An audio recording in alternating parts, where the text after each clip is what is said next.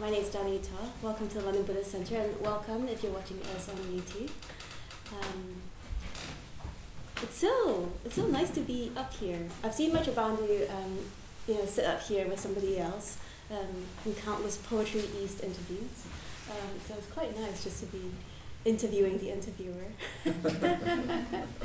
um, we're just going to start off with a little breathing space meditation. Um, so why don't you get into meditation position? Let's all get into meditation position.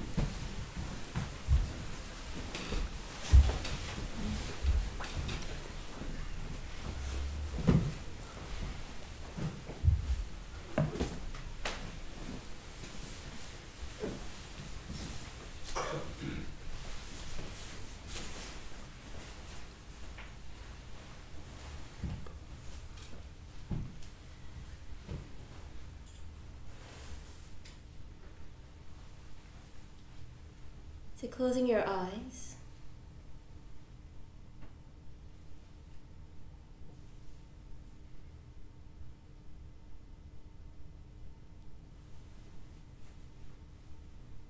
Listening to the sounds outside of the room.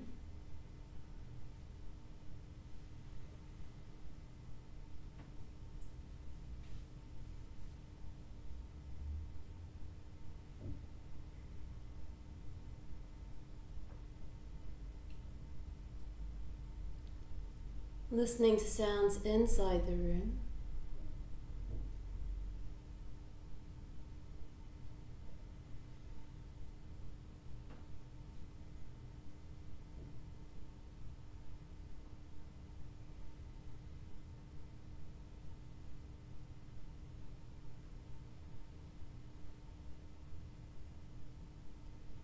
And listening to sounds inside your own body.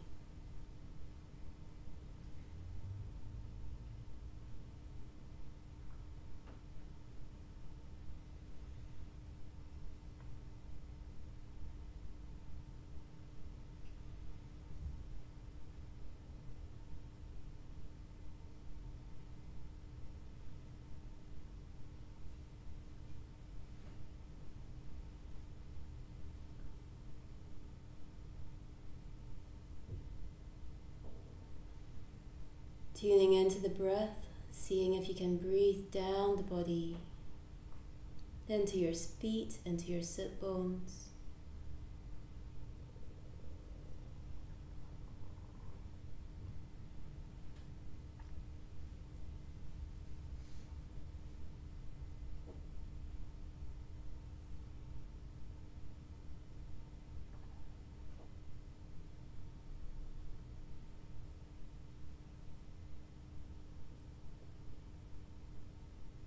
breathing into your heart area.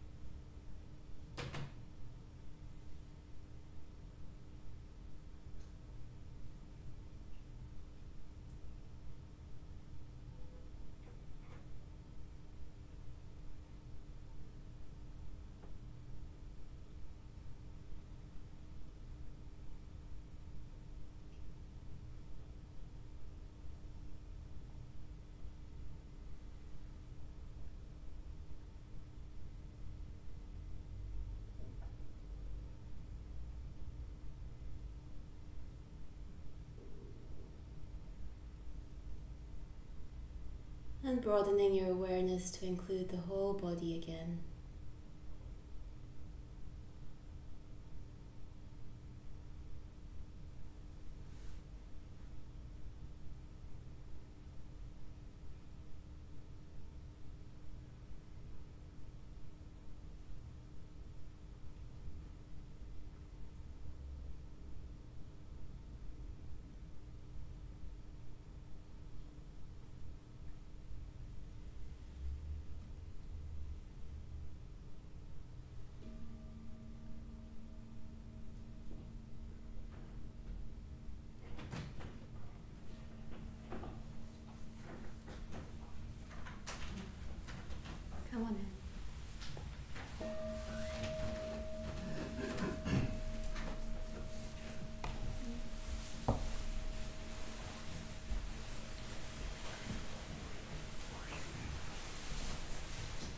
Yeah, so welcome if you've just joined us. Um, it's a very, very special evening. Uh, we're commemorating the death of Bhante Sangharakshita, the founder of the Triratna Buddhist community, um, which the London Buddhist Centre is part of. And it's also um, a celebration of his, of his life. Um, and um, yeah, just a way of us remembering Bhante, bringing him into the Buddhist Centre, bringing him of, um, into into our lives on a special day. Um, I'm just really excited because what we're going to do this evening is, um, well, I'm just going to have a conversation with Maitreyabandhu um, in the first half of the evening, um, and then there will be the obligatory tea break, um, tea, um, juice, biscuits, and after that, Maitreyabandhu is going to be reading excerpts from a yet unpublished poem that he's been writing for the last while. Um, and then we're going to uh, finish the evening uh, with a ritual dedicated to Bhante. Um, so that's the sort of shape of the evening. Um, and I'm delighted to be uh, to be interviewing Maitreyabandhu. Um, he's somebody I regard as a close friend, um, a dear colleague, um, and also someone who I look up to as a teacher, my teacher. Um, and it's just like a real privilege to be interviewing you about um, your relationship to Bhante, Maitreyabandhu. Um, and also, I, I just wanted to take this opportunity to ask him about this, this sort of mysterious thing of um, having a teacher and what, what is that about, yeah, particularly from a Buddhist perspective.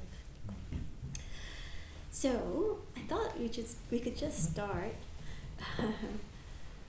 by I don't know you Maitreyabandhu and saying when it was that you met Bhante. Do you remember your first meeting with Bhante? Mm. Um, yeah, very nice to be here. Hello. um, yeah, um, yeah. I, I, I think I think my first the first time I saw him was when he gave a talk at um, what's that place? York Hall. York Hall. Um, I remember David went to give a talk at the same, same event. Um, and I, you know, I, I remember people used to talk. People would say, Bhante, oh, Bhante is going to give a talk. Bhante is going to give a talk." I, I, at the time, I assumed that Bhante was an affectionate nickname. You know, um, it was actually quite a few years that I realised it actually meant Venerable Sir. It always um, the Venerable Teacher. I actually thought it was like a, a nickname, you know, like an affectionate nickname. Anyway, people would say, oh, Bhante's talking. And so I was very excited, and I went to, to York Hall to watch him. And I was, I was very underwhelmed, I'm afraid. yeah, he, he struck me as being like a sort of, um, a sort of very dignified junior school headmaster. Um, he wore this, you know, he's got quite a big tummy, and he had actually looked a bit, bit like me.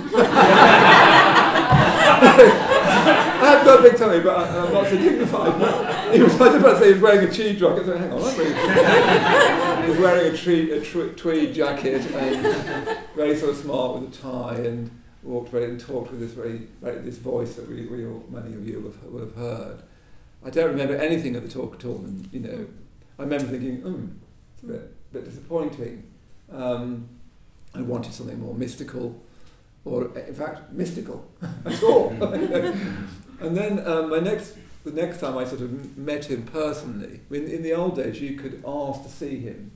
Um, he used to live, you know, just up where, where the office is, and you could ask to see him. And um, so I thought, I'll ask to see him, you know. Um, so you have to wait outside, and then somebody would come in and say, uh, Bhante's ready now. And I was completely nervous. And uh, I went in, and there's a, there's a little corridor. If you, if you go into the office, there's a little corridor where he used to have all these coats. So it's quite tight, you know. Mm-hmm. And anyway, he was coming down the corridor, and I was coming towards him. And I said, hello, Bhante. And then I went to put my hand to shake his hand. And then I thought, oh no, you don't shake your hand with a teacher. So I then dropped my hand. Of course, he went to take shake my hand. And he was like, we were like wobbling in this corridor. And I sat down, and you know, he had this long, so it's very threadbare you know, if everyone worries that this is a cult, all you need to do is go and see Bhante's flag because it was so threadbare. It was a very threadbare old sofa, and I would I was perching on the top of it, and um, I remember starting to have a conversation with Bhante about the art and poetry of Blake, about whom I knew next to nothing. Um, so I started having this conversation with, and Bhante immediately could see that what I'm talking about. Um, so that failed abysmally. Um, How old were you? I was 25, something like that. Okay, so you're quite young. Uh, Very, very young, but you know, a young 25. Um, and then um, at one point he took off his glasses to clean them. And I thought it was a Zen teaching. you know, I was completely, you know, Bhante later on described me as almost impossibly naive. so I thought it was a Zen teaching, and I thought the teaching was, I hate you. And I thought, I hate you too. I literally almost crawled out. It was a disaster, you know. And um, years later, I, I, you know, I told the story to Bhante. He said, mm, you won't be surprised that I I don't remember it. In other words, I made no impression on him whatsoever. You know, you always hope that he's going to pick up something. I've got a particular sort of potential. Nothing. Didn't even remember me. He said, but I do remember the first time I saw you. That is a bit like how he talks. He said you were sitting on the, on the, on the step of the London Buddhist Centre in a pair of very ragged shorts. I, I want to say they were trendy at the time. ragged shorts, very ragged shorts. He said, you looked very forlorn. and then he said, but look at you now. so the, the, the moment it, my relationship changed, because I used to just, but you know, I had this awful meeting with him and I thought, I don't like, I, did, I just didn't like him. Mm. He was obviously just bored, you know.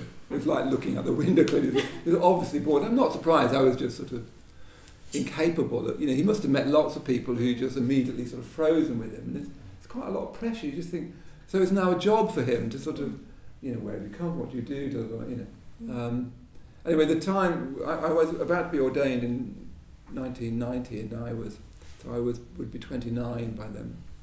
And I got this note from him because we, we were the first year we could wear blue robes, and, and I was trying. I kept I was trying them on. I couldn't make I couldn't make it. I work out how you put them on. So I got this note from Bhante saying, and he often talked about himself in the third person. I hear you're trying to put these robes on. If you'd like to, Bhante is willing to show you.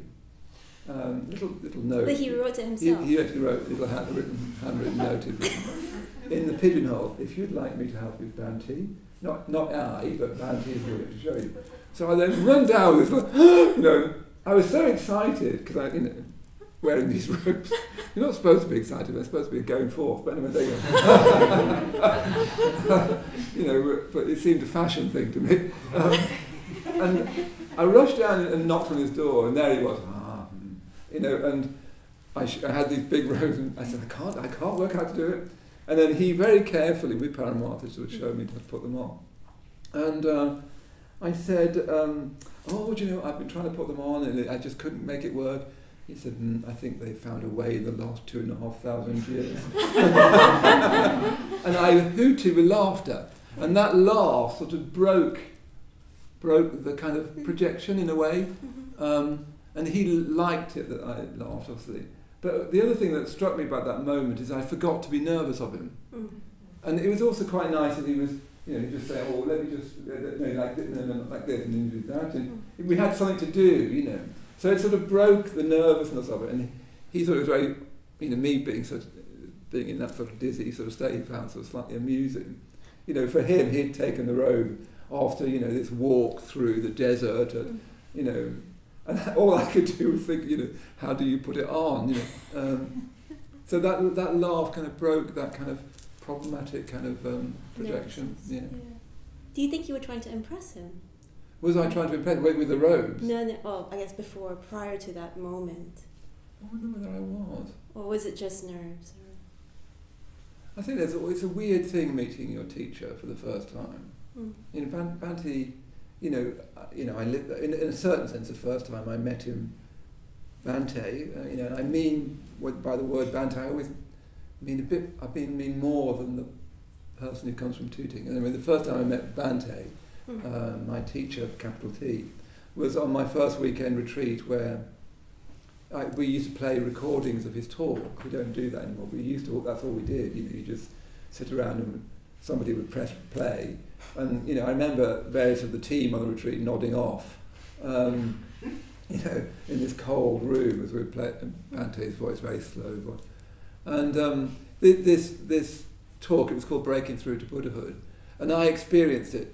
You know, reflect, let, looking back on it, it was like a fully Buddhist. You know, you know this thing. You know, direct transmission outside the scriptures, no dependence on words and letters. That that's how I experienced it, Hmm. as, as a direct transmission outside the scriptures, no dependence on words and letters. It, that is actually exactly right. That you, it was like. It was it was a, the most uncanny experience I'd ever had, where it was as if this man knew the absolute most intimate facts about me Hmm. and the most universal facts about the universe and told me about both at the same time. It was really quite odd. Hmm. Like, how does he know this? You know, um, so, you know, I met the person having really, I mean, it was like a direct transmission outside the scriptures. I knew it, it was just, it was like a revelation, like, you know, like you hear revelations of God and so on. It was like a revelation of the Dharma, the, the truth of things. So I was just very nervous to meet him. Um, I was very nervous anyway as a person, but how do you meet him? What, what do you do? You know, Hmm. I was sure I was going to get it wrong. And yes, probably I was trying to be clever. You know, talk about Blake. You know, I don't even like Blake very much. Um, um, I, I always feel I should, but I never have really. But you know, Bhante's very keen on Blake. so probably just trying to be clever in that sort of immature sort of way. Well, there's two sort of like ways I like to go. One one is something like you've, you've introduced the word Bhante and you've said it's revered sir, revered teacher. Yeah. And I was thinking that the word teacher, I don't know, doesn't quite capture it when we're talking about Yeah, that's right. Yeah. our teachers or Bhante Mm. um, himself. Yeah, it doesn't. Yeah. What what do you what's the kind of more when when we're saying teacher, we think? Yeah, it's so difficult to say. We've got no language for it, partly. Um, like, I never think about he as my teacher in, Hmm. in a certain sense. I, I think of Bhante as Bhante. Hmm. Um, and that's the same, you know, I think of Yonavatra as Yonavatra. I don't think of him as a Buddhist or someone who came from a certain place. He's he's irreducible.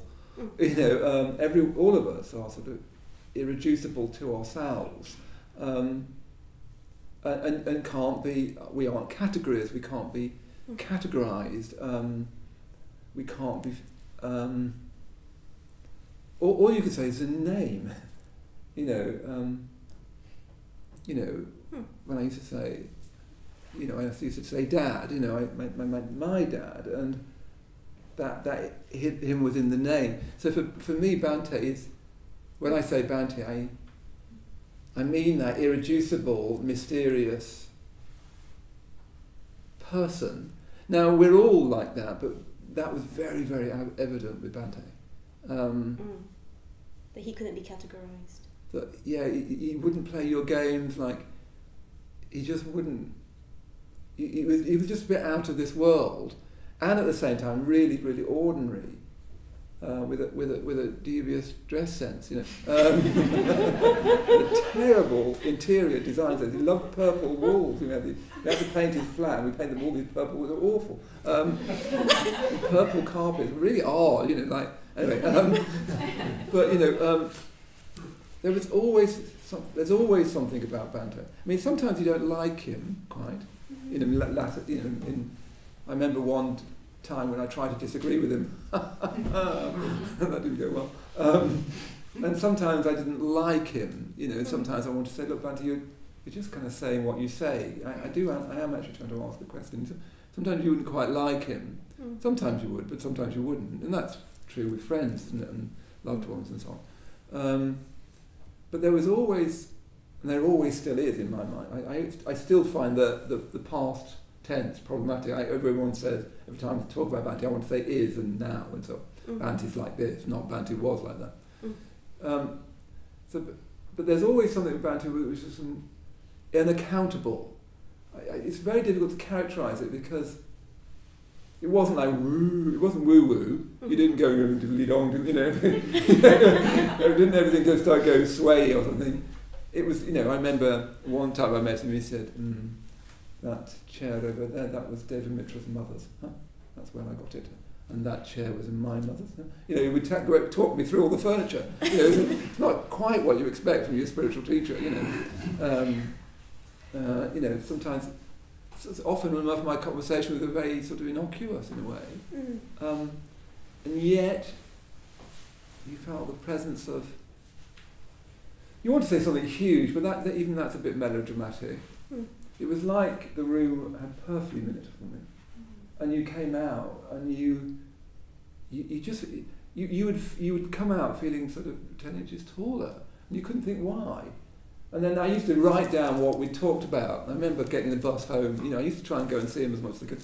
And I'd write down what we talked about. And could, you, sometimes you couldn't remember what you talked about, mm. or you'd write it down. and You think, well, that's that's not much. You know, um, you know. And I, I would imagine the Buddha was even, you know, sort of like that a hundred times more, where he just says ordinary things, and yet there's some yeah. some sort of vastness. And you always had that with Bhante all the time. I never knew it not there. Oh, that's a relief. Because the couple of times I met Bhante, I had exactly that experience of like writing it down really right, quickly, yeah. just looking you at think, it and thinking, yeah. hmm. it was much more magical than yeah. I could put down in my notebook. Yeah, it's quite difficult to express that magicalness.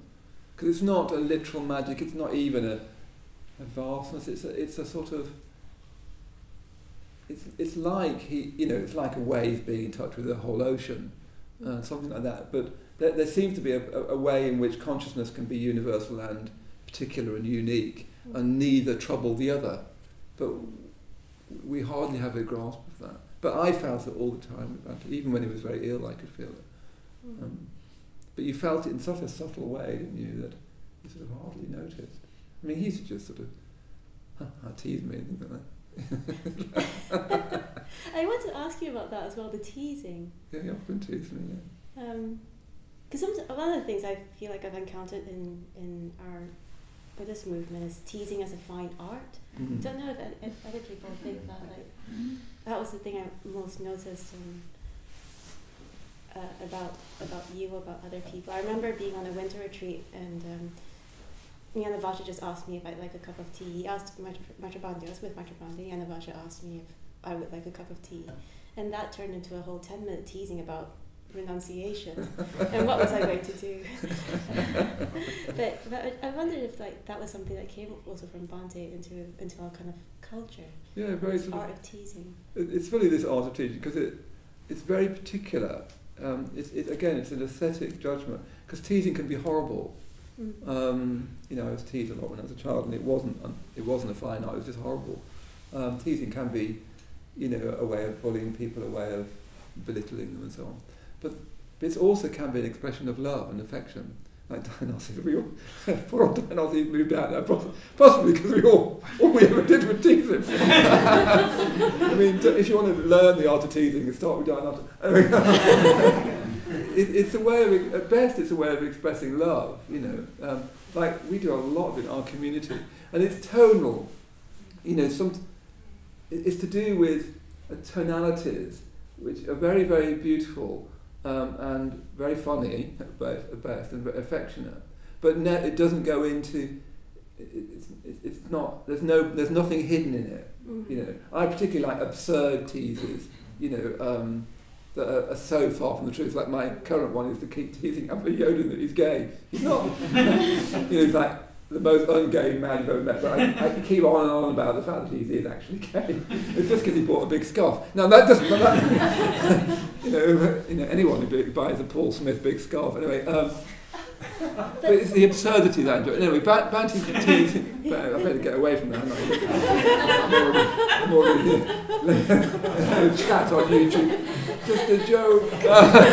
No, but, but, this is the thing. right? Because when you read Bhante, Yeah. when you read his transcribed lectures, they're off, they're weirdly flat. Yes, but right. then when you listen to the recordings of his talks, like we played an excerpt from uh, one of Bhante's talks on the opening of the London Buddhist Center on Thursday, Hmm. and he's so funny. Yeah, he's But he does that very thing of like you know going to the absurd. He was talking about people taking their medicinal vitamins. oh no, their Yeah. meditational vitamins. Yeah, Hmm. Like coming here to meditate for five minutes.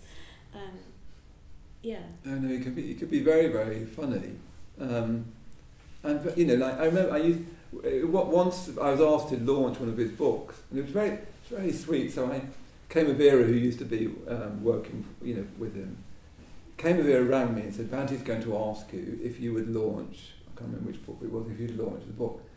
Um, in the date, said, such as, can you do it? So I looked at my date, yes I can do it. Um, so he's going to ring you in about half an hour to ask you to do it. And I said, okay, so you, you can do it. Yeah, I can definitely do it. So, so you can imagine, and then he goes off and tells me, yeah, I've just rang and he said yes. Then, you know, ring, ring. Hello. I said, hello, it's Bhante here. It's very odd having I said, hello, Bhante. And he always did this and he'd go, ha ha. I said, hello, it's Bhante. My children went, ha ha. It's very sort of affectionate. They said, what's that? He said, I'm, I'm just ringing to see if you are willing to launch my book. It's on. He went through the whole thing as if we'd never talked about it. and it's going to be, it's about to be published. We're going to do it on this launch. Would you be available? It's all been decided. And I said, yes, I think I am available. oh, well, that's very, very good. You know, very, very courteous. Because basically he was trying to, he wanted me to do it, but he didn't want the embarrassment of me saying, look, I can't do it that day. Hmm. So he'd, he'd get someone to do all that and then, but still go through the ceremony of actually asking me. I thought, you know, I didn't say, actually, that's weird, because Cambridge just ring, rung me. you, do you not talk to you? I thought was in the flat with you. Yeah, he said, fine, fine. no, hello, Bhante here. Hello, Bhante. How, oh, yes, I'm well, thank you. Now, I'm just ringing you to say, you know. And then one, one, you know, one of his famous teasings, he would often tease me, in uh, one, one one of the last times I saw him, I always used to go up to the end and um, and say to him, or, or you know, I to always want to thank him. You know, um, you know, I, I do think it's quite possible that li- literally Bhante has saved my life. You know, I think it is quite possible. Um, I had, you know, I was very unhappy as a young man and as a child. You know, and I, I, I definitely thought of suicide and all those terrible things. I don't know whether I'd done it, um, but it's quite possible that Bhante saved my life. So I, you know, and I, I always, every time I saw him, I just, I just want to say thank you. Um, and this one time, I, you know, the, the most affect, I'm very English, so the most affection I could be was to shake his hand and then hold his hand with my other hand. You know, that, that was it. You know, that's me being affectionate. So if I do that to you, you know, that's me being affectionate. Um, he did hug me once actually, and which is, anyway, we might come to that. And um, I said, I just want to thank you once again uh, for all you've done for me. I don't know what would have come up with without without you or something like that. You know, I don't. Uh, and, he, and, he, and he said something like, um, "Yo, yes, it doesn't bear thinking about." it's very, very funny because most people demur, don't they? Oh no, I'm sure you would have been fine. And, blah, blah, blah. Um, and he just said, "Oh yes, it doesn't bear thinking about." so I sort of hooted with laughter, and he'd often sort of tease me about things. Um, I remember once at a meal with him, somebody asked asked me, would I like more? And I said, oh, yes, please. And he said, oh, yes, Maitreyabandhu can resist anything but temptation. Which is a, you know, direct quote from Oscar Wilde, but, you know, it's quite, quite sort of... Yeah, it's, it's difficult to realise how affectionate Bhante could be. I mean, he could be not affectionate as well, um, but he, he could be, like, extraordinarily affectionate in a way that's quite... In, in his atmosphere, almost. Mm. Tell us about the hug then. Oh yeah, the, the, hug. Was quite. That was like um, I wrote about it recently, but um, I went to talk to him because there was, you know, there's all, there's always been these scandals about Bhante and sex and his sex life and so on, um, which I, you know, I hope everyone knows about by now. Hello, everyone on YouTube. Um, you know, um, you, you know, I've talked about it hundreds and hundreds of times, but you know, in the first, I can't remember when it was, whether it was the first Guardian article or the second or this thing or that thing, but I went to see him um, around that time. And uh, we'd chat, you know, we inconsequential things. And then I, I said to him, "Oh, Bhante, I'm, I've started. I've been thinking about you and your sexuality, and you can see him think, okay, you know, you, you can. You, there's a certain thing with Bhante's tonalities where you could almost feel him withdraw his psyche and start to look at you. You know, you, you, you could see him think, okay, now I'm now where we're going with this. And I said, you know, I'd, I'd, I'd had this interesting experience where somebody I was due to ordain, um, I don't know whether we want to go into that, anyway, someone I was due to ordain, he'd asked me, am I, was I attracted to him? Was I physically attracted to him? Mm. And I'd had this very interesting experience of saying, well, if you were gay, which he wasn't, and if you, I was your age, which he wasn't, and if you were in my price bracket, if I could have, if you were gay and in my age, and you would have been slightly interested in me, which he wouldn't have been, you know, he was very, very handsome. Um, I had my moment, but it lasted about 15 minutes. Um, then of course I'd be attracted to you. You know, I'm not, I'm not insensible to that. You know, um, you know, I was trying to say, if this was the case and that was the case, and you were actually interested in me, which would, you know, was just none of those things were true, then of course, yes, I would. I, you know, I, I would. Of course, I'd like to sleep with you if all of that was true. You know, I wish I hadn't got into this. can, we, can, we, can we just turn the YouTube thing off? um, anyway, um, then of course, anyway, what, but what struck me about it is that this friend of mine is very, very healthy, and not at all kind of neurotic about things like that. Um, you know, he's straight. I, I, I never liked that term, straight. I, I know lots of straight men, and I wouldn't. It's a horrible term, isn't it? It's a pejorative term. Anyway, um, and heterosexual sounds terribly medical. You know, um, I think nowadays people have to come out as straight, don't they? You know, hi, I'm straight. You know, I know that might be difficult for you. but, you know, um, anyway, he, he, the more I tried to explain, the more this friend of mine just felt more and more. You could see he was thinking, "Oh, it's true." And basically, I'd just been trying to sleep with him. Mm. It was a very interesting experience because he wasn't a kind of sort of neurotic, silly person. Um, and I, retol- I told that story to Bhante. So I said, so I think I can understand why you decided not to say anything about it.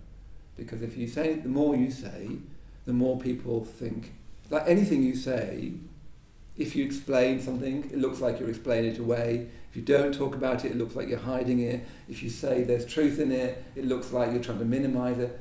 There's literally like no way of doing it, you know. Mm. And he, he said, yes.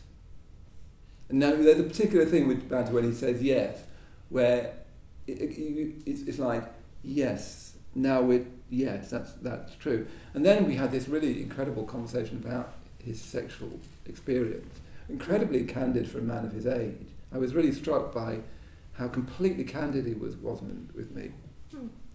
Anyway, at the end, I, you know, I, I went to talk to him. I went to say thank you once again. I just want to thank you, just as I always do. I mean, I say that in the way, but I did really feel that and do really feel that. Um, gratitude is, is too pale a word, but because Mm. you know, I also feel gratitude to my parents, but I don't follow their teachings all the time.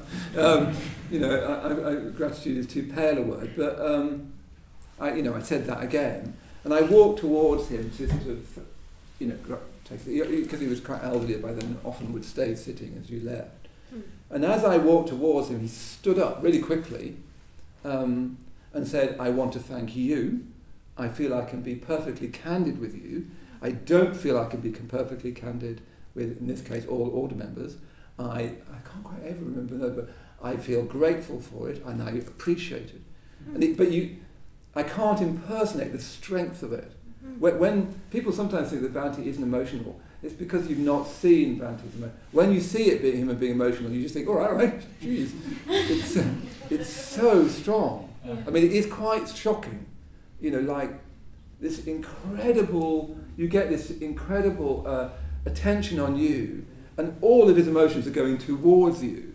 Uh, it's really quite frightening, even. Um, and anyway, he said, I, he said all that, and then he flung his arms around me and gave me a great big hug. And he'd, he'd never done that before, and he's never done it since. Wow.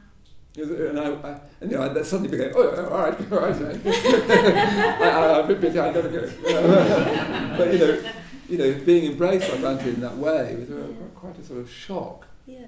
But he obviously felt, I think so many people have been trying to talk to him about it. I mean, he, he did say in that conversation, you need to remember that I was born only two years after the trial of Oscar Wilde. Mm. So ba- Bhante was born in the same year that um, Mein Kampf was published, for instance, Hitler's. You know, so you can see where the whole, you know, the world started from there. And um, The Great Gatsby was published in the year that Bhante was born, and it's two years after the Wilde trial. So Mm. It's you know, very different. very, very different world in terms of homosexuality. And, you know, he, he you know, a hugely sensitive man, hugely um, gifted man, and, you know, having to not mention any of that. Mm. Uh, and I think just somebody being willing to talk to him about it without sort of prodding him. Yeah. He's very, very sensitive to you trying to get an answer out of him that you want, not actually. If you felt that you were trying to get an answer, you were sort of prodding him, he would just close down Mm. and just go and you know make non-committal noise. He, you know, he'd obviously had a lot of that. I was just struck by how much he was pleased to talk. You know. Hmm. That's quite interesting. O- o- Um, something that you you just mentioned, I thought, oh, this. I've heard this from other people as well that it's sometimes really hard to bear Bhante's positivity. Mm. Um, you know, the sort of like the, the full flush of his, of his um, yeah, positivity. Mm. Um, And emotion. yeah. I want to move on to a slightly different, or look at it from a slightly different um, angle, which is about reverence. Mm. Um, maybe I could just ask you, like, do you, do you, do you feel like you revere Bhante? Yeah, I mean, uh, unfortunately, my mind has been destroyed by writing poetry. Um, and what, one of the things that don't need to yacht nod. it's slightly rhetorical. but it makes you very, very sensitive to words in a, in a, in a weirdly sort of, you know, university way. Um, I, I just don't think there's a, an adequate word. Reverence sounds too religious to me. Mm-hmm. Gratitude, as I've said, is too pale because you know gratitude is something you really need to be having towards our friends, towards our parents, particularly um, your siblings, and so on. This we've got everything to be grateful for. So great saying you're grateful for a teacher is too pale. Reverence sounds too kind of religious and a bit like that, Pious, a bit pious to, in my, to my ear.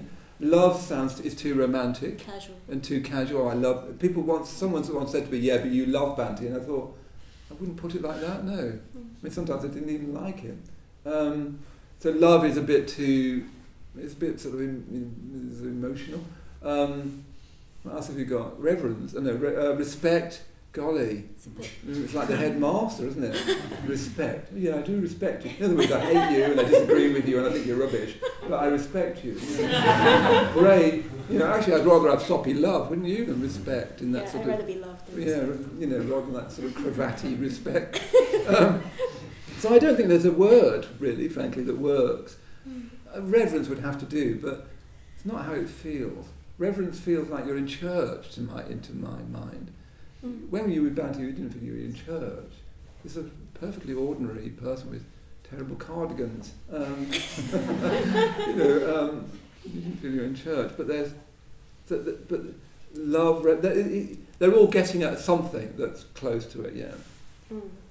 You know, I, what what I feel more is that I'm his disciple. Mm. Um, I, I feel that very strongly that I'm his disciple, from because I received the Dharma from him in the sense of a direct transmission outside of outside scriptures. Um, he opened the Dharma to me, and the Dharma isn't an abstraction, much less an ideology. It's a living spirit that only comes through people, um, and it came through Bhante for me. Uh, so I'm, I'm his disciple. Now he once said that if you're not a disciple, all you can be is a bad teacher, Mm. which I think is a very, very uh, telling remark. Because if you're not a disciple of someone, all you've got is you, and then you just teach you, and then say you're a bad teacher. My, my other way of thinking about it just recently is that you you are a disciple whether you like it or not. It, it's, it's a question of what are you a disciple of, or who you're a disciple of. Um, you know, if you're you, most a lot of people are disciples of money or disciples of prestige, or you can even be disciples of your parents in a way that's not very healthy. Mm. You need to feel gratitude and love for them, but you you shouldn't be a disciple of them. Mm. Um, that's quite unhealthy.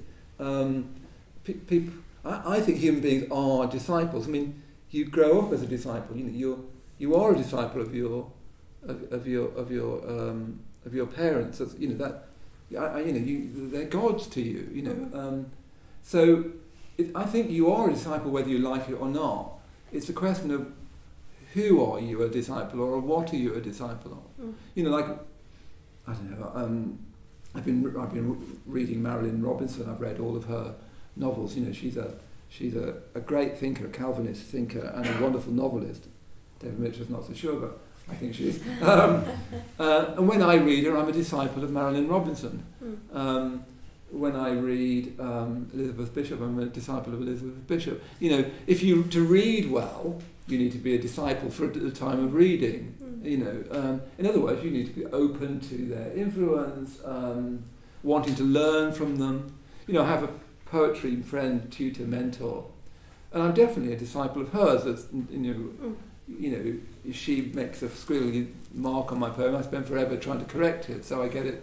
When she's happy with it, I'm happy with it. You know. Um, now you can't learn unless you're a disciple Mm. anything. You can't learn mathematics, you can't learn you can't learn courtesy, you can't learn anything unless you're willing to be a disciple.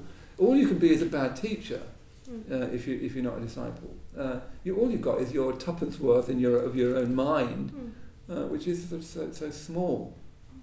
So, being a disciple, I think, is a given. Um, but if you're a disciple for money or you know bad television or whatever, Mm. then you that's the kind of person you are. That you know, you'll have nothing. You'll have nothing to give anyone.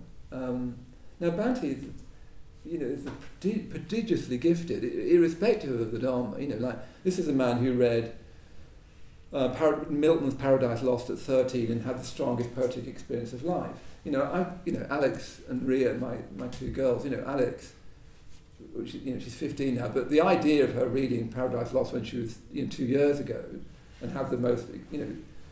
Anyway, it's, it's a little bit beyond her. Sorry, Alex, if you're watching. it's, a, it's a tad beyond her, really. Um, Yeah. You know that that's prodigious. You know, it's it's quite. You know, Bhante is a genius without doubt. Mm. Um, genius is always a bit problematic, actually. We, we, we, we want geniuses, and then we complain about how difficult they are. Um, you know, whether it's Einstein or whether it's um, Schopenhauer or whether it's whoever else, you know, whether it's Tolstoy. It. Then you have all these books about how what a nightmare they are. But, you know, it's because of genius. So many of the things that we've got are because of individuals' genius. The light bulb, you know, um, from the light bulb to space travel to the CAT scan to. Milton's Paradise Lost. Um, so I, I, I think you are a disciple. That the question is is to whom and to what, you know. And of course, I would say that the greatest thing to be a disciple of is the Dharma, and that needs to be through people. It's not you can't catch it from books. You can get a bit of it, but you you need to live it with people. It's a whispered lineage, mu- much of it. Um, I've got two questions for you, and maybe that those are the two questions that we'll finish on. Yeah, okay, yeah. um, I've been wondering a bit about discipleship because Bhante says something like, you know, um, Triratna is a community of his disciples and his disciples' disciples. mm. And he did sort of um, make a caveat to that afterwards and talked about how discipleship might not work for everyone As a Um, word. as a word Yeah. particularly, but um, in terms of like, yeah, we're disciples to the extent that we follow um, Mm. the practices that he and share an understanding of uh, the Dharma. I just wondered about you having your disciples as well. You know, he said yeah. my disciples and the disciples of my disciples. So you as having somebody having disciples yourself. That was the first question.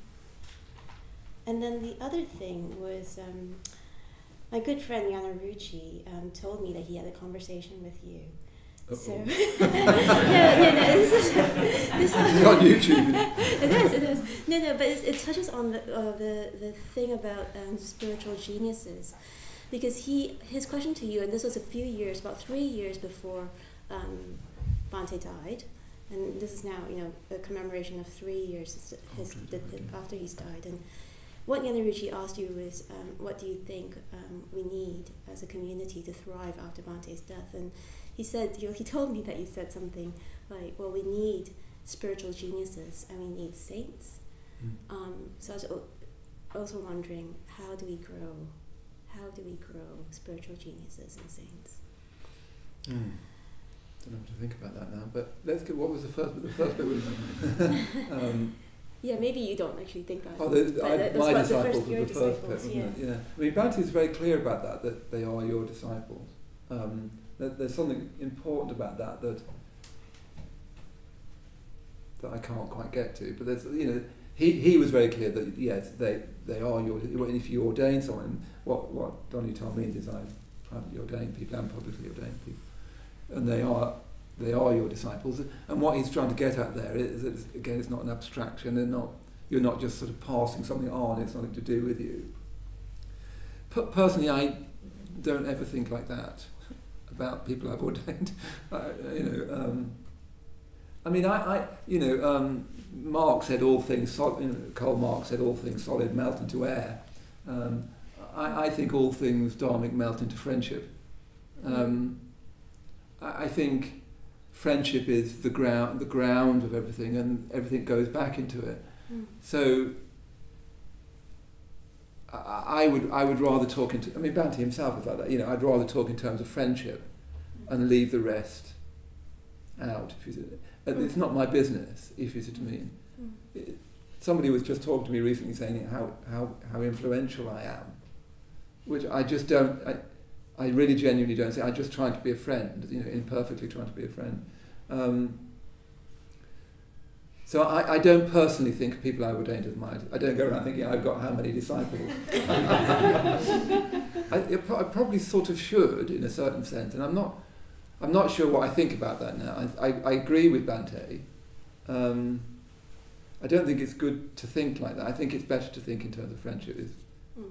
I think I mean, with Vidyadhara, for instance, who I ordained many years ago, um, everything, it, it's just, we're just friends. It doesn't matter who ordained who, you know, um, in a way. Um, we're just friends. Um, that, that's the important thing. And, and by friends, I don't mean mates, I don't mean pals, I don't mean colleague, I mean friendship as Bhante as, as revealed to us and, and, and as the Buddha Dharma reveals to us. And then the second question about how do we grow spiritual geniuses and saints. Maybe you don't think in those terms anymore. I, I don't think I do. I mean, I, I, think I might have been thinking that people are either geniuses or saints. I think Bhante talked about this once, didn't he? I think, I think he thought he was more of a genius than a saint. Um, uh, lots of people would agree. What? I don't think I'm either. I'm definitely not a saint. um, I have met, you know, like Suvajra, the man who ordained me, I always think is rather saint-like. I've always thought Ratnaghosha is rather saint-like. Of Arch is an unusual mixture of genius and saint. Um, remember uh, uh, saying um, I got him to, trying to get him to read the voice of the Buddha in one thing, and he said, and he said "Oh no, no, no, I can't read the Buddha. I just be the Buddha's mate." And that's that's real as well. You can just be the Buddha's mate. You know, you, you need a world of just friends, and friends it's a funny old thing. It's got all the gravitas in the world, and it has all the play and all the just like nothing very much. You know, just just being around each other because there's no nothing to do with life. So you just make friends and you just be friends, and that's it. There's nowhere to go with it. It's nothing, not for anything.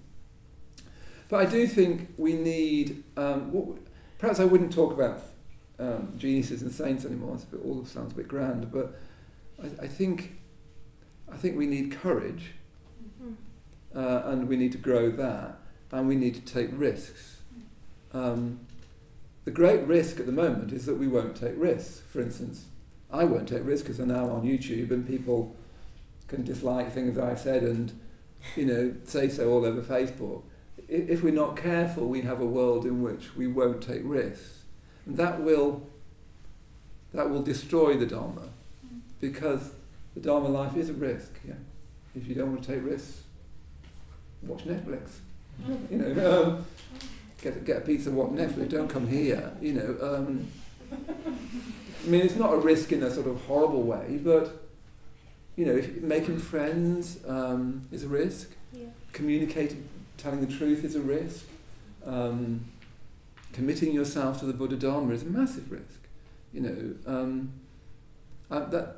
So we need, definitely need. I, th- I think we need courage, not silly courage, not sort of courage to do daft things, Mhm. and not even risk to do silly things. You know, like there's a, you know, I remember that craze in bungee jumping.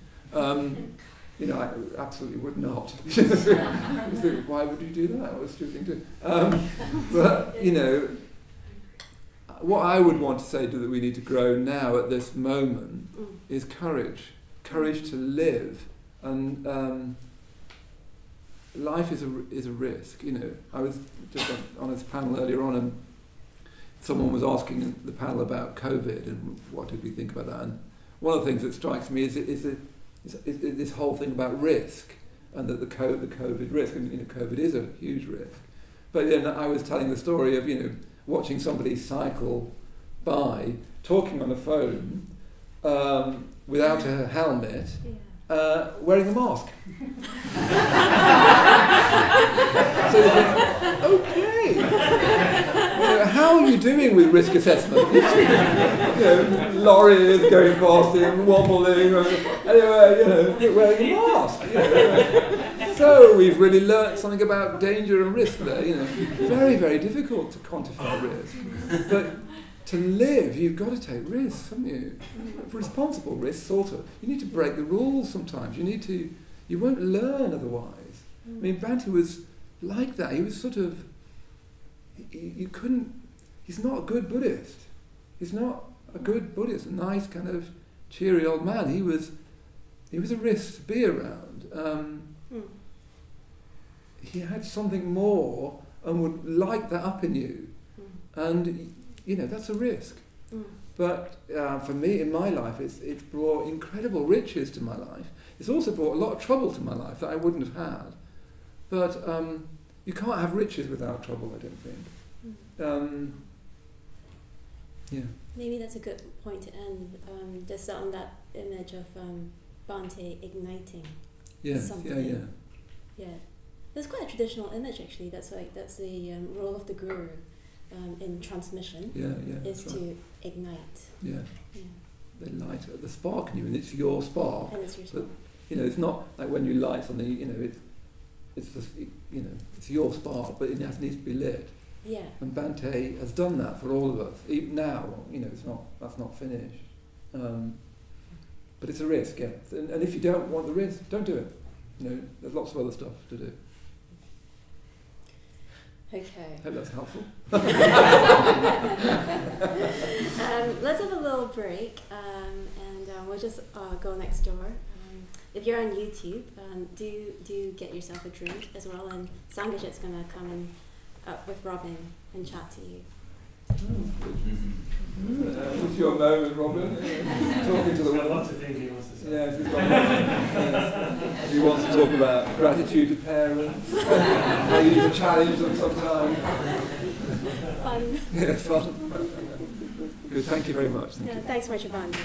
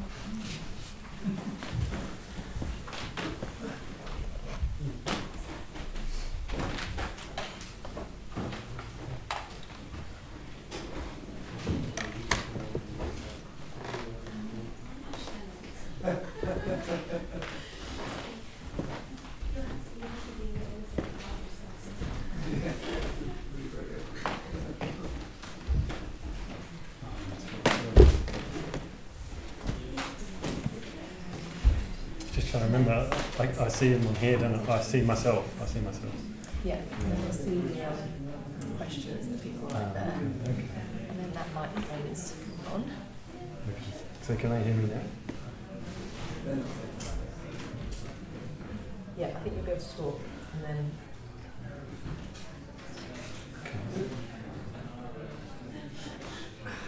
So you think they can hear me now, yes? yeah, yeah, it'll be picking up now. Okay, And then if you look at the, look in their direction, it could be Up and down the wall, okay. Yeah. I'm being zoomed in. and now you're being zoomed in on. Uh, all right. Sorry if you're on this um, channel watching us do all our tech and me get my bearings. I'm just having a little scroll through this little iPad here and seeing who's with us. So, oh, so Badramati's online. It's nice to see the first name pop up as Badramati. Yes, uh, yeah. Normal? Yeah, anything else. So yeah, so hi Subhadramati, I've got Ollie, I've got Lutum, and I've got Harvey, Patrick, Cedric, Herbert, Yvonne, Simon, David, Trisha. Robin's just coming into view here. Hello.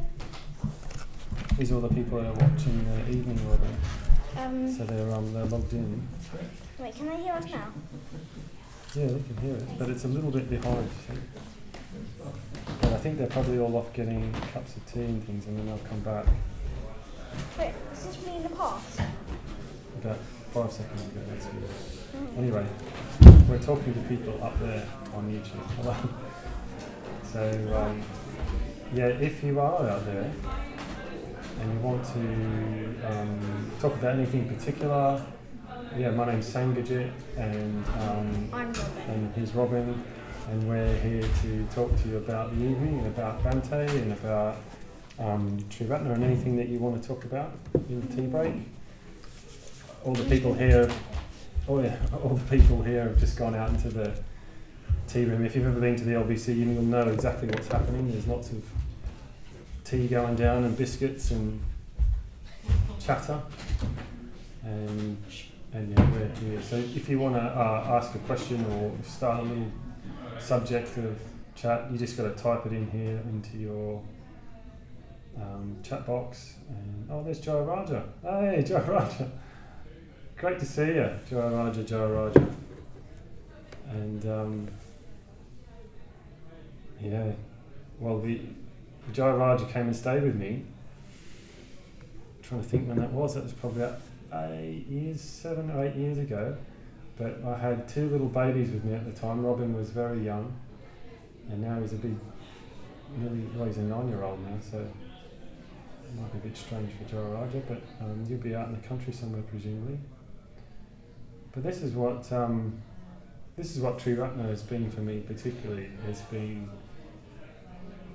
just a, a just a, a sort of ever widening group of friends that um, people like Joe Roger come into my life and you know we do things together or we become friends and people go off and do projects in different parts of the country, different parts of the world.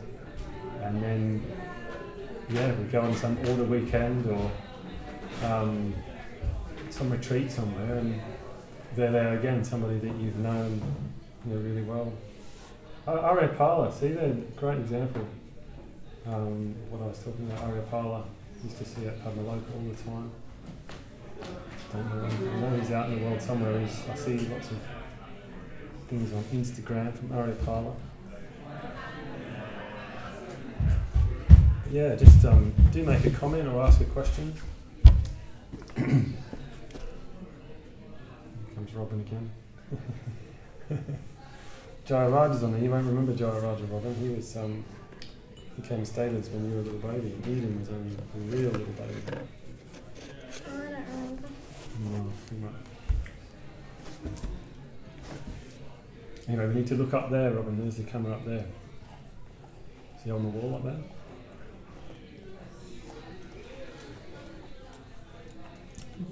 Oh, Cedric said that. Thank you. That was one of the most beautiful talks I've ever heard. Oh, you're welcome. Not from you. He's talking about my my trade and Oh, sorry. and, uh, and Dani Utah. But I agree, it was really good, wasn't it? yeah. Um, he made a lot of funny comments. he did, didn't he? I didn't understand some of them though. Didn't you? No. Did you understand any of them? No, not. I mean, just a few. Don't drop your biscuit in the tea. Don't leave it in there too long. You fall in. soggy. Joe Ryder says, Robin, do you prefer football or cricket? Cricket. Cricket. Maybe you can stand there and show him some, show him how you bowl. show him how you bat. My hand leg spinners.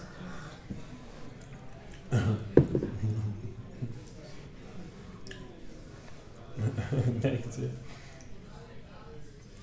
Are you fitting well, Jai Raja? Are you um? How's all the knees and joints holding up? Jai Raja's great on the football. He's good at football. we used to have a we used to have a Triratna Buddhist football tournament every year. Oh, We what? haven't had one for a while. Oh, I could, I could play. Would you play? I'd play. Mm. I wouldn't Yeah, good fun. though. Really good fun.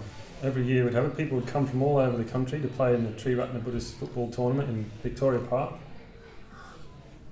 And it would be absolute carnage. There'd be people going down with injuries and Oh, having clashes and tripping each other over and upset and glory and tra- and trophies and everything. It was brilliant. So, yeah, so turn it to cricket. some of my friends like Joe Raja, I met through football. But yeah, I'm happy, really happy to talk about Bhante too, especially at, um, this evening. If um, someone's taken up jiu-jitsu, Raja, yeah, that would suit. Did I'll have to have a wrestle with him when you see him next. Me? Yeah, Oh, Eden should do that. yeah, Eden's doing Taekwondo, so we, we can have a little match up with Joe Raja. Perfect. I think what we should do is next time we see Joe Raja, we should all just try and take him down and hold him down and pin him down. yeah, that's what we'll do. But we won't tell him. We'll just sneak up on him, see how good his jiu-jitsu is then. But yeah, no, I, I um, I'm really, really pleased to be here this evening because um, yeah, it wasn't that long ago that Bhante died, and it was a very, very moving day. I was asking Robin on the way up if he remembered it, but I don't know. When you who? When the day that Bhante died, or the time that he died? I don't remember the day, but I remember band. Mm. Robin's met Bhante when he was a baby. He got a blessing from Bhante. Sick. What's that? Yeah, he went. He went up and I asked Bhante if he would give Robin a blessing. Um, this was when he was living in Birmingham, and uh, I wrote to him, I wrote to Bhante, and he agreed. And then we we went up there. Michelle, Mm. um, Michelle, Robin, and I went up. Eden wasn't born yet. It was just just you, three or four months old, I think he was. Me? Yeah. And we took you up to see Bhante and we asked Bhante to give a blessing and he chanted some verses. And um, and yeah, and you vomited all over my jeans. and um, then he gave us all presents. And it was really, really lovely. And we gave him presents. We didn't manage to do it with the other the other kids. So we've got three children. It was only Robin that got to meet Bhante and have a blessing. So Siri, Siri, you're the blessed one. um, Siri was, Siri wasn't Siri alive at the same time for a tiny bit. No, that that was when we went up, and I met Bhante when we went up to Adhisthana. But was Siri ever alive when But she was- was? Yeah. Born 2017, so for not for very long, like less than one year. Kind of want a cup of tea, but if I go off for a cup of tea, You can ask for a cup of tea. can I do bib chips? Yeah, How hot is it? no, that's all right. Oh, it's hot. So where are you, Aripala? If you're online and you're hearing this, are you? Where, where are you in the world? Hello. Great to see you again. Yeah, do say where you're coming in from. Dad, has this microphone got anything to do with it? That's the that's how they can hear us. Can you hear me? David Ross is in Bognor Regis. Who's David Forces? David Ross is in Bognor Regis. That's his. Dad, I'll be doing secret tonight. Yeah, I'm talking to him already. Are we? Oh.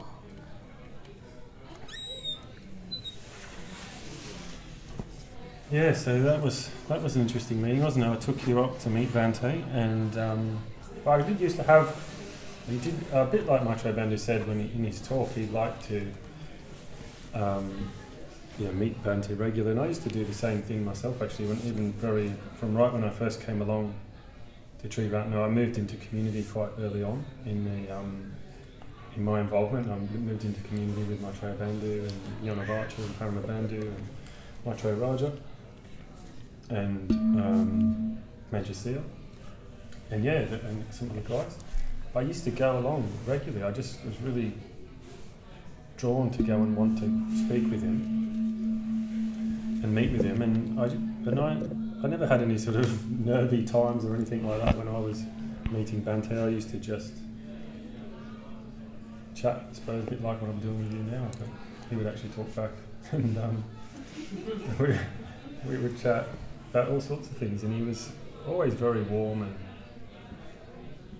I definitely um, agree with what Maitreyabandhu was saying about the type of atmosphere that was around Bhante and also to what how you'd feel when you come away. I always used to think of it like the equivalent of going on retreat. It was like the experience that you, you know when you go on retreat and you spend a weekend or a week or whatever it is away, and then there's something that's there's something of the retreat that stays with you for a week or two weeks or however long you like it, and then even like three, four weeks down the line, you sort of get a scent of it again, and you that something of that mindset.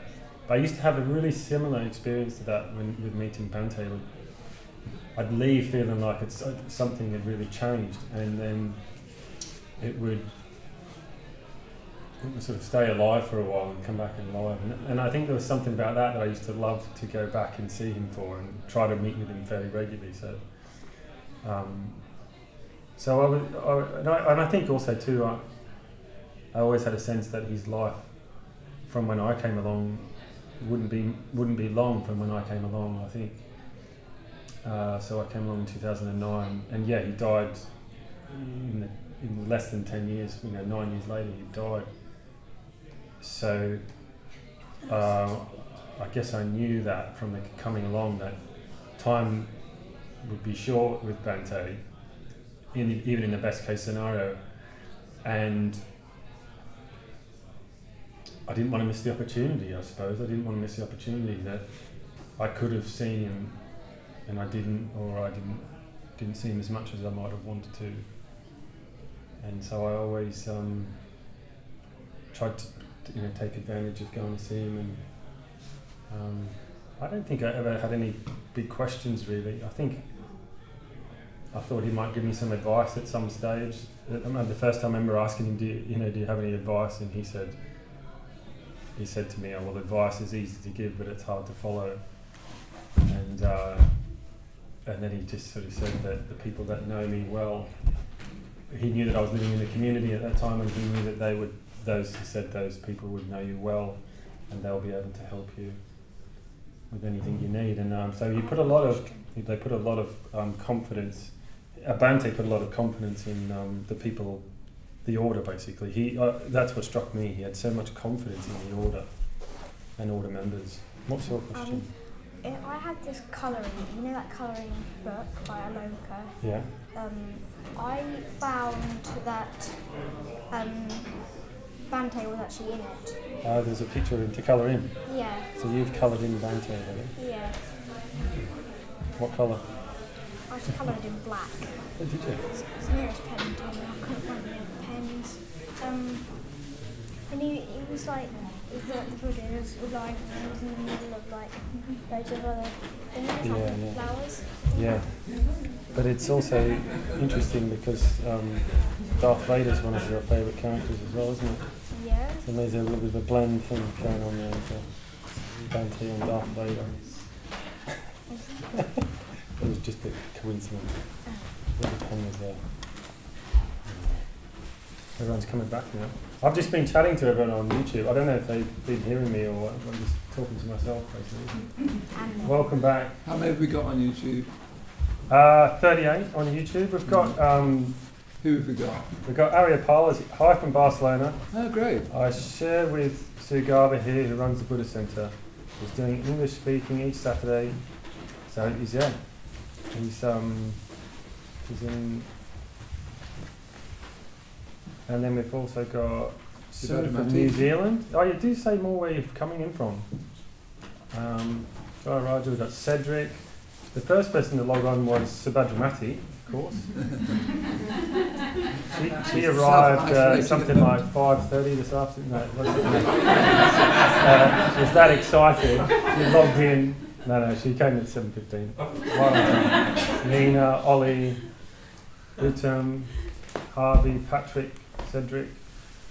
Yeah, so you're all back in the room with everybody. How long do I carry on like this? Do I just keep going? Am I getting round up? Okay. All right. Well, it's nice to chat with you all, and I'll hand you back. Thank you very much, Sandra and Robin. Thank you very much.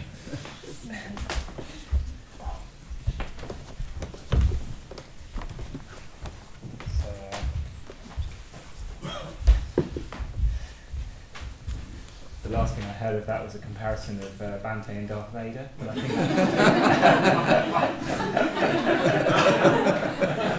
it's gone that way, I think. but, uh, yeah. Did you do your Darth Vader impression?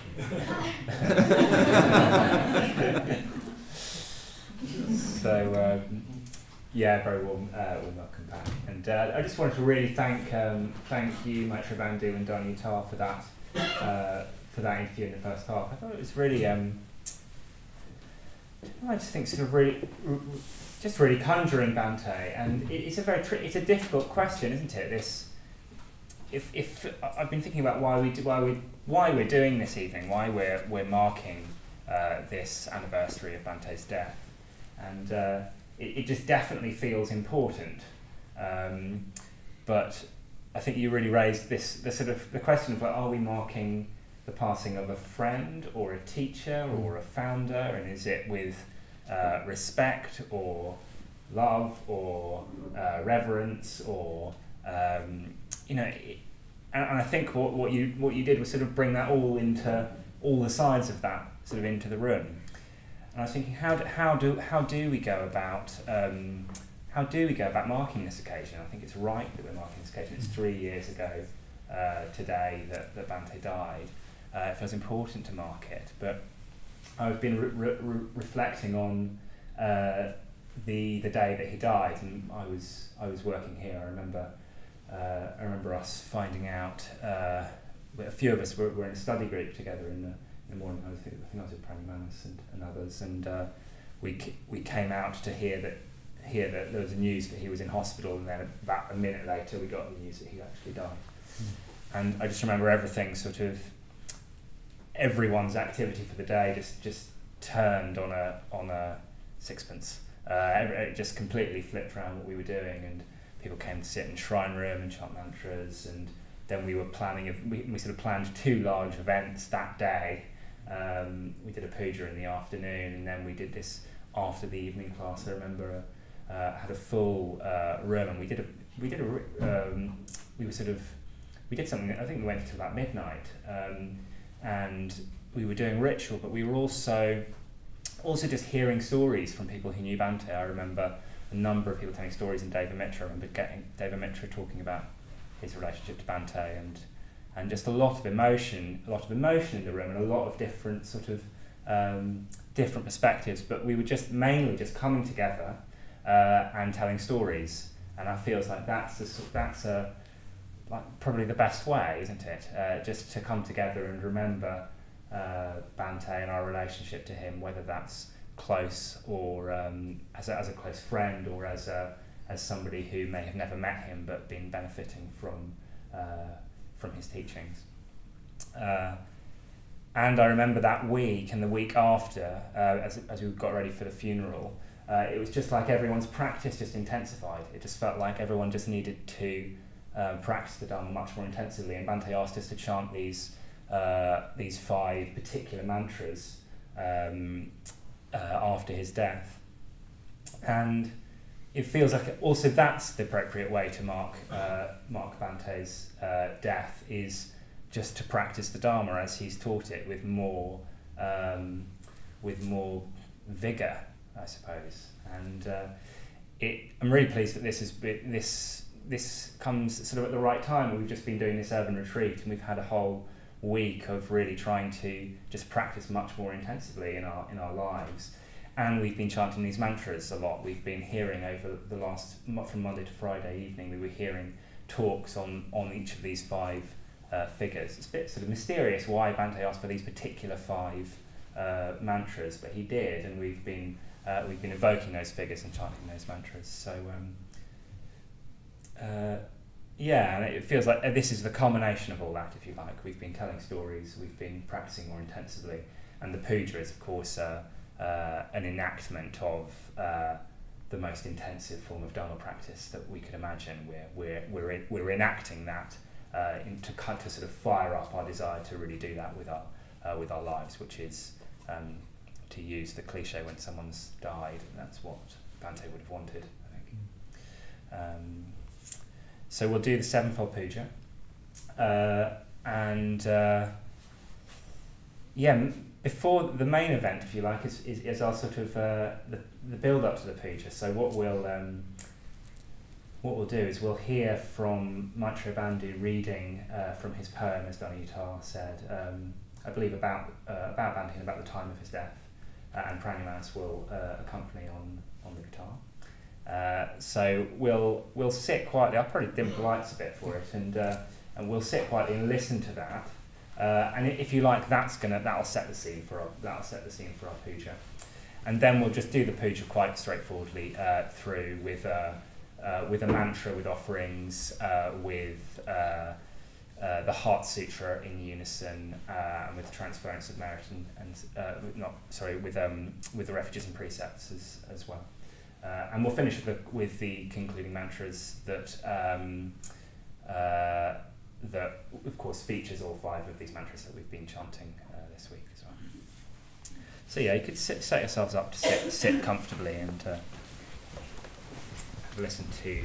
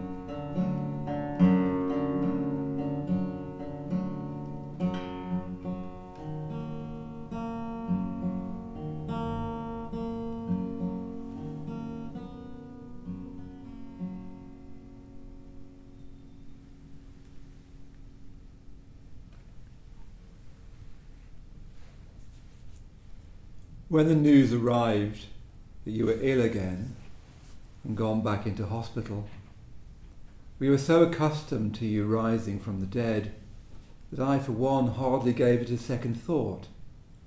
Soon enough, we'd hear about your miraculous rebirth with two more, three more years, overlooking the duck pond, watching, as far as you could see, the sunset and the mallards coming back.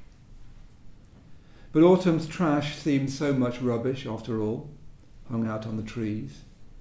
And Alcibiades' dogs snarling by the gates, a cormorant obscenely wet, struggling to follow, swallow a fish, suggested over music. There should have been last songs. We have, through joy and sorrow, hand in hand gone wandering. A white swan blazed across the lake, a mother's ornament. The fountain blew its top, while the lanes you loved, deep lanes, unsuited to heavy goods, brought your body back to where you lay, unharassed by tittle tattle and bad faith, with flowers at your head. The wind outside made every tree funereal, throwing down their leaves. Seagulls brought their sea cries far inland. Friends prepared your coffin, a cardboard coffin, painting it with rain, while Strauss's larks flew musing into the haze in E flat minor above sheep shitty fields. A pheasant kick-started its rancorous alarm. Let me not be my own life, for through myself I have lived badly. Augustine. And when it did start raining, real, not fictive, softly in the trees, then quickly building, it sounded like the start of rapt applause. I'll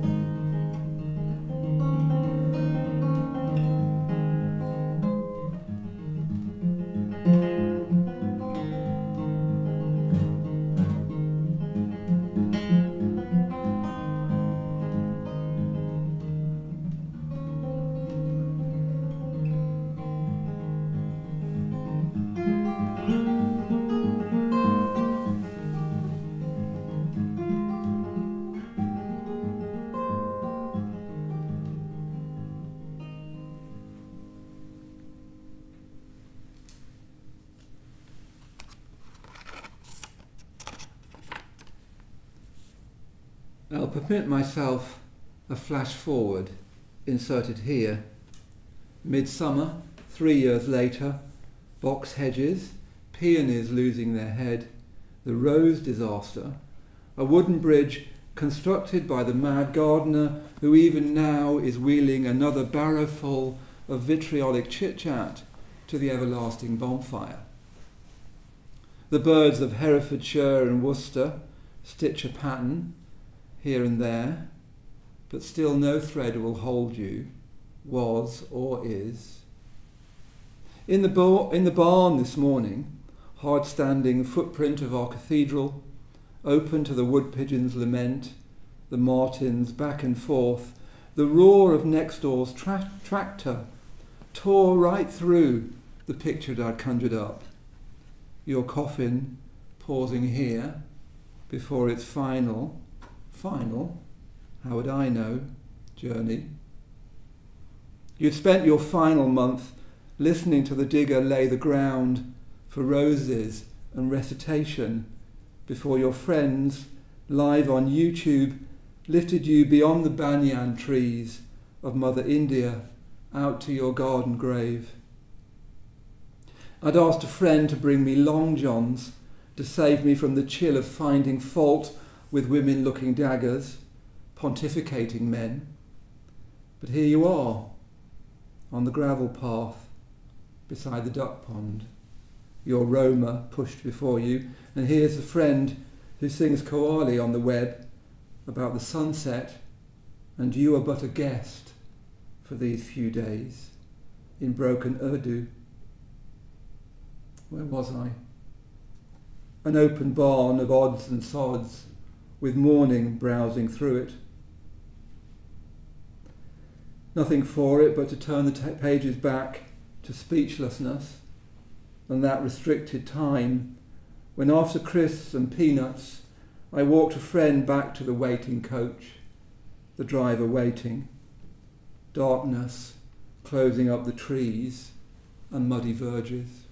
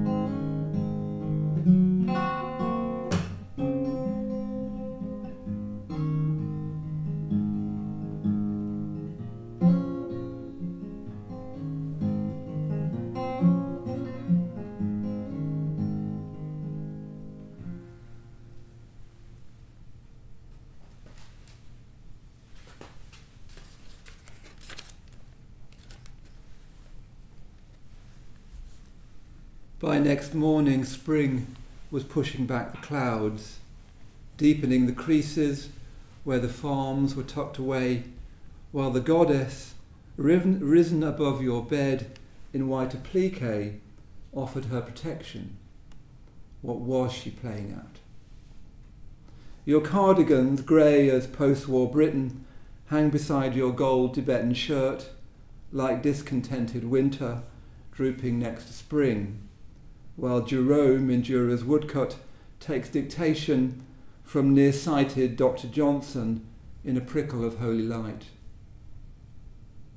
I find it beside your bed, the ceramic head he gave you, handsome butcher's son, another London, friend, friendship's clear light of day, its degree of mutual knowledge in long talks late at night. Two policemen turned up at your flat with your address tucked inside his pocket. He brought a ticket for the underground at Kentish Town, then threw himself under. The scream he'd cut in clay, fixed forever. I sit beside your chair. Time's passageway echoes with the voice of George V I thought men like that shot themselves. As Leonardo's lady, ermine squirming on her arm, gazes through the window, which window shall I choose? Round or square?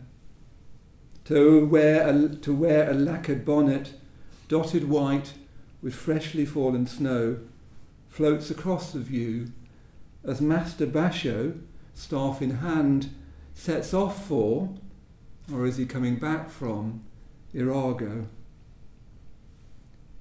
Forgive this. Forgive my foolishness. Bless me as you once did, now and always.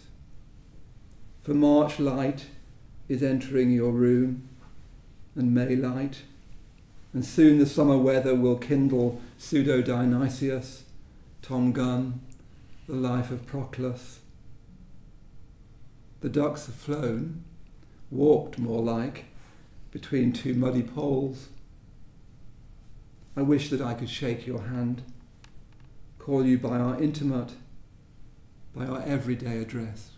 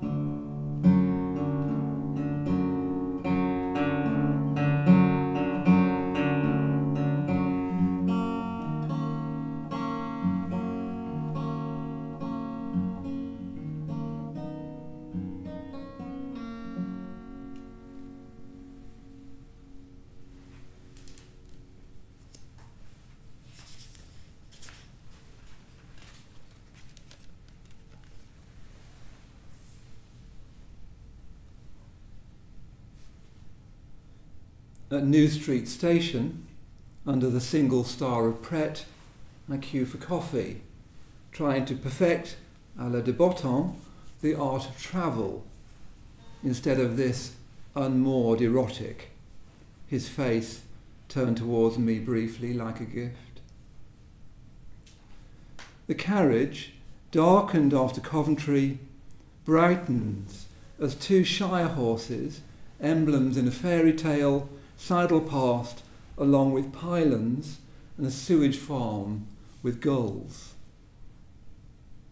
I sat inside your voice this morning, slowing down the pulse like our train that slows but doesn't stop at rugby, vans, and packing crates, taking your time, all you had was time, to say rainbows and seven goddesses offering water to wash, water to drink, perfumed water, your voice lingering in Greysdale, not a trace of spring, just a tall wood standing briefly on a hill, an inkling perhaps of change as we gather speed for home. You'd come so far, Tooting, Kalimpong, to disembark via Soho's Summer of Love at Elgar's orchestrated hills. Your sodden burial mound, overlooked by British camp, still settling without pomp or circumstance in borrowed English ground. The quiet coach, like a reader reading quietly through a poem, connects the superstore with a golf course, poplars, a road desolate with traffic, the coast you'd hope to visit until your health. Shush. The pauses in your voice on the recording were spaces to imagine. But this disciple, flowing into Euston, past graffitied walls, through blackened tunnels, torch in hand, his light, watch it descend the spinal stair, kept flickering on the face you made appear, Om Tare, Tuttare simply by saying she was there.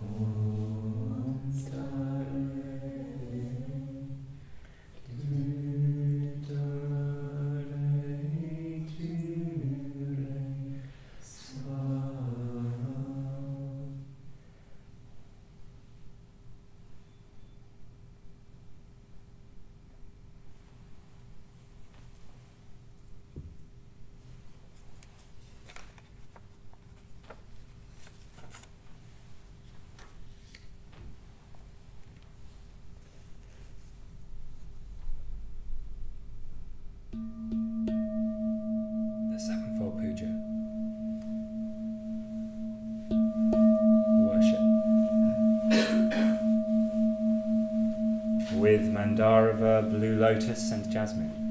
With Mandarava, blue lotus, and jasmine. With all flowers pleasing and fragrant.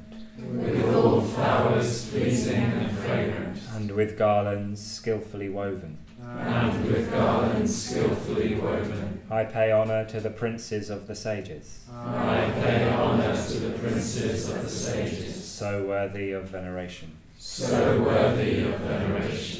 I envelop them in clouds of incense. I envelop them in clouds of incense. Sweet and penetrating. Sweet and penetrating. I make them offerings of food hard and soft.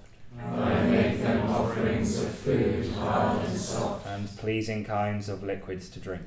And pleasing kinds of liquids to drink. I offer them lamps encrusted with jewels. I offer them lamps encrusted with jewels. Festooned with golden lotus. Festooned with golden lotus. On the pavings sprinkled with perfume. On the pavings sprinkled with perfume. I scatter handfuls of beautiful flowers. I scatter handfuls of beautiful flowers. Salutation. As many atoms as there are. As many atoms as there are. In the thousand million worlds. In the thousand million worlds. So many times I make reverent salutation. So many times I make reverent salutation. To all the Buddhas of the three eras. To all the Buddhas of the three eras. To the Saddharma. To the Saddharma. And to the excellent community. And to the excellent community. I pay homage to all the shrines. I pay homage to all the And places in which the Bodhisattvas have been. And places in which the Bodhisattvas have been. I make profound obeisance to the teachers. I make profound obeisance to the teachers. And those to whom respectful salutation is due. And those to whom respectful salutation is due.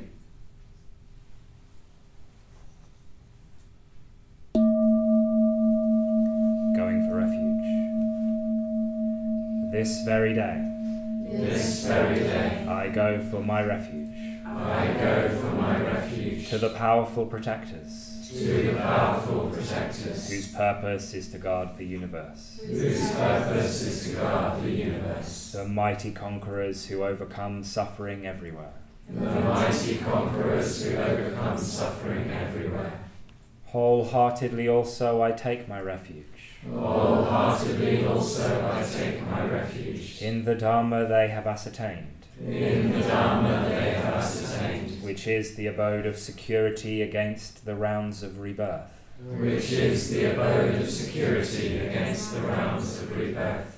Likewise in the host of bodhisattvas, Likewise in the host of bodhisattvas, I take my refuge. I take my refuge.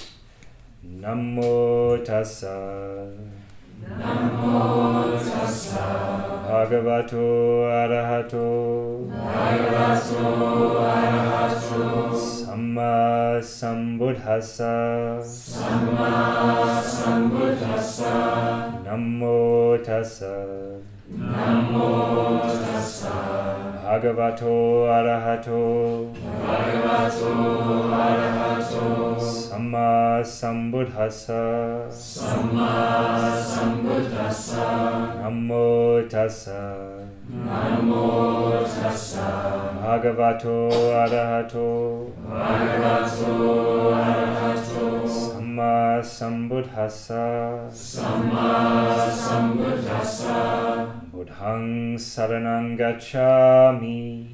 Buddhang saranang gacchami. Dhammang saranang gacchami. Dhammang saranang gacchami. Sanghang saranang gacchami. Sanghang saranang gacchami Dutiyampi buddhang saranang gacchami Dutiyampi buddhang saranang gacchami Dutiyampi dhammang saranang gacchami Dutiyampi dhammang saranang gacchami Dutiyampi sanghang saranang gacchami. Sanghang saranang gacchami. Tatyampi buddhang saranang gacchami. Tatyampi buddhang saranang gacchami. Tatyampi dhammang saranang gacchami. Tatyampi dhammang saranang gacchami. Tatyampi sanghang saranang gacchami. Tatyampi sanghang saranang gacchami. Panatipata. Panatipata. Veramani. Veramani. Sikkhapadang. Sikkhapadang. Samadiyami. Samadiyami. Adinnadana. Adinnadana. Veramani. Veramani. Sikkhapadang. Sikkhapadang. Samadiyami. Samadiyami. Kamesu. Kamesu. Micchacara. Micchacara. Veramani. Veramani. Sikkhapadang. Sikkhapadang. Samadiyami. Samadiyami. Musavada. Musavada. Veramani. Veramani. Sikkhapadang. Sikkhapadang. Samadiyami. Samadiyami. Surameraya. Surameraya. Naja. Naja. Ammadatana. Ammadatana. Veramani. Veramani. Sikkhapadang. Sikkhapadang. Samadiyami. Samadiyami. Sadhu. Sadhu. Sadhu. Sadhu. Sadhu. Sadhu. With deeds of loving kindness, With deeds of loving kindness, I purify my body. I purify my body. With open handed generosity, With open-handed generosity, I purify my body. I purify my body. With stillness, With stillness, simplicity, simplicity, and contentment, and contentment, I purify my body. I purify my body. With truthful communication, With truthful communication, I purify my speech. I purify my speech. With mindfulness clear and radiant, With mindfulness clear and radiant, I purify my mind. I purify my mind.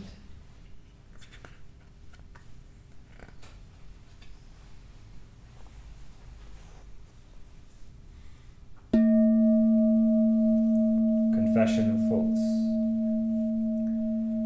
The evil that I have heaped up The evil that I have up through my ignorance and foolishness, through my ignorance and foolishness, evil in the world of everyday experience, the evil in the world of everyday experience, as well as evil in understanding and intelligence, as well as evil in understanding and intelligence. all that I acknowledge to the protectors, All that I acknowledge to the protectors, standing before them standing before them with hands raised in reverence with hands raised in reverence and terrified of suffering. and terrified of suffering. I pay salutations again and again. I pay salutations again and again. May the leaders receive this kindly, May the leaders receive this kindly, just as it is with its many faults. just as it is with its many faults. What is not good, O protectors, What is not good, O protectors, I shall not do again. I shall not do again.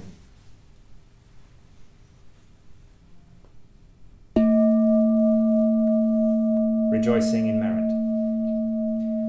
I rejoice with delight. I rejoice with delight. In the good done by all beings, in the good done by all beings, through which they obtain rest, through which they obtain rest, with the end of suffering.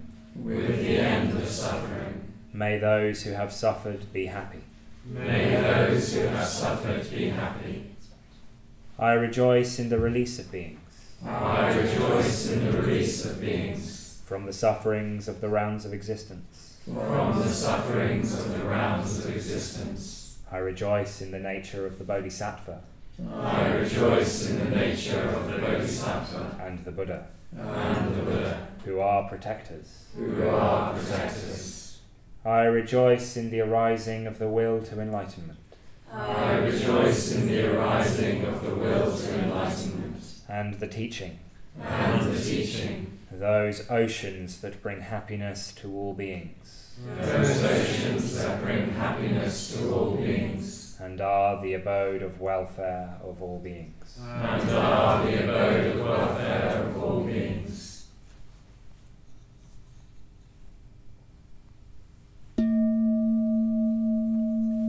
entreaty and supplication. Saluting them with folded hands, Saluting them with folded hands, I entreat the Buddhas in all the quarters. I entreat the Buddhas in all the quarters. May they make shine the lamp of the Dharma May they make shine the lamp of the Dharma for those wandering in the suffering of delusion.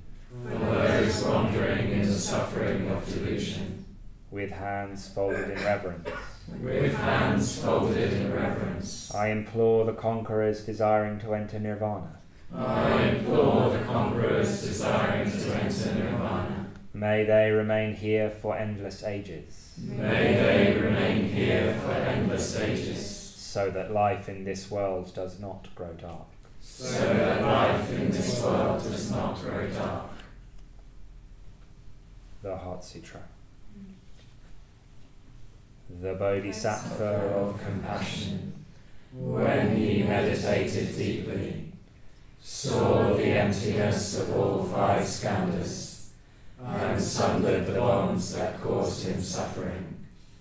Here then, form is no other than emptiness, emptiness no other than form. Form is only emptiness, emptiness only form.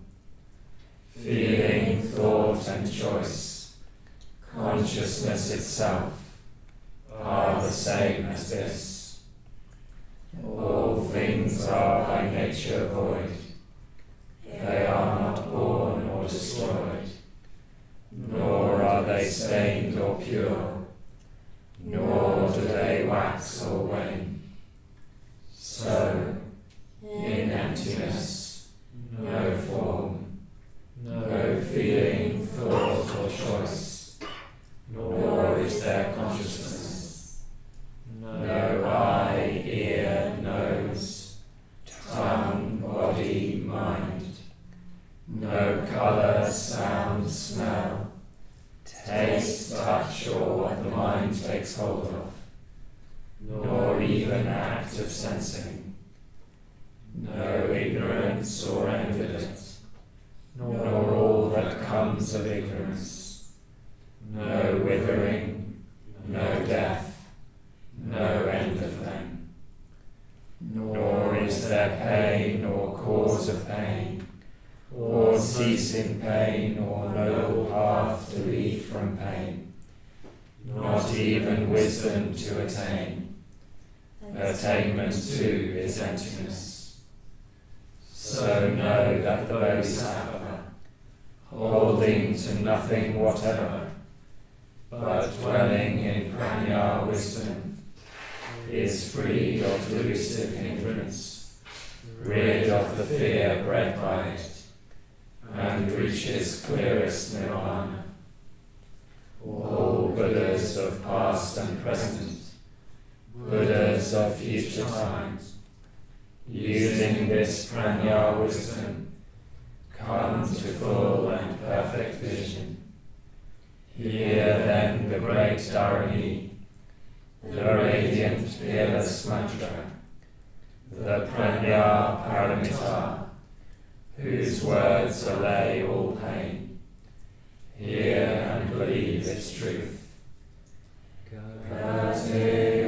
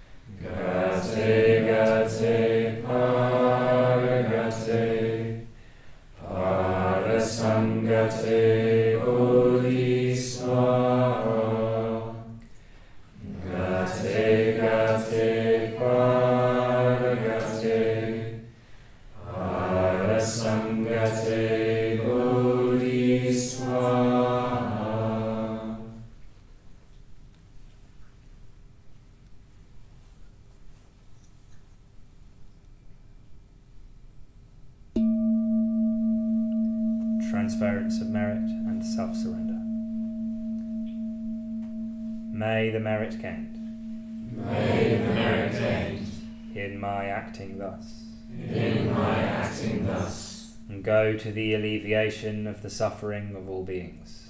go to the alleviation of the suffering of all beings. My personality throughout my existences, My personality throughout my existences, my possessions, my possessions, and my merit in all three ways. and my merit in all three ways. I give up without regard to myself I give up without regard to myself for the benefit of all beings. for the benefit of all beings, Just as the earth and other elements. Just as the earth and other elements. Are serviceable in many ways. Are serviceable in many ways. To the infinite number of beings. To the infinite number of beings, inhabiting limitless space. inhabiting limitless space. So may I become So may I become that which maintains all beings, that which maintains all beings, situated throughout space, situated throughout space, so long as all have not attained. So long as all have not attained. To peace. to peace.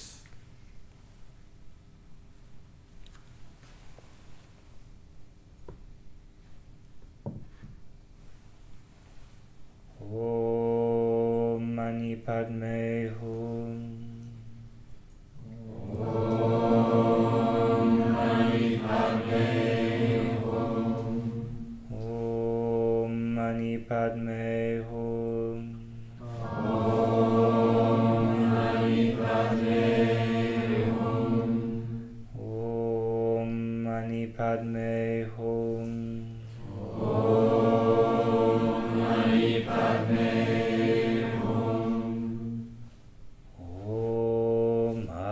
Arapachanadhi. Om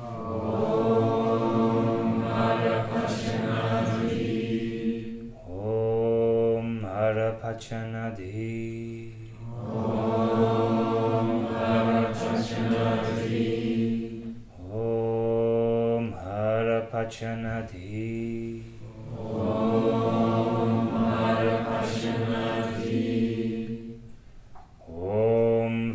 Vajrapani Hum.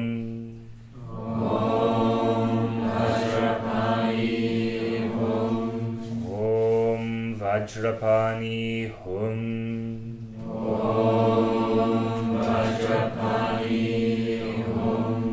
Om Vajrapani Hum. Om